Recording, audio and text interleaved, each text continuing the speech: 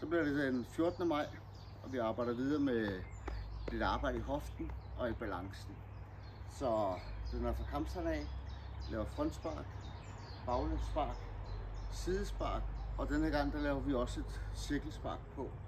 Så det er fremad, det er tilbage, det er til siden, og det er i cirkel. Der er 10 gange til den ene side, og 10 gange til den anden side. Hvis man har udfordringer med hoften, så lav måske to gange til hver side og skift hele tiden. Eller fem gange. Hvis I er lidt seje, så tager jeg 10 gange i træk. Ses i morgen.